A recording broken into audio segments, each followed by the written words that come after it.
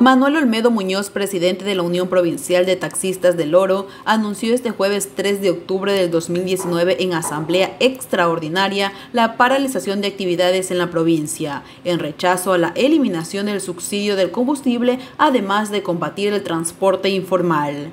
De esta manera se pudo apreciar la vía La Primavera que ha sido cerrada por distintas cooperativas de este gremio. Cabe indicar que asimismo el ingreso en el redondel también fue así como la vía Pajonal y otras de ingreso a la ciudad de Machala. El gremio indicó que si el Ejecutivo no da marcha atrás, su paralización será permanente y bloquearán las vías a nivel provincial de ser necesario.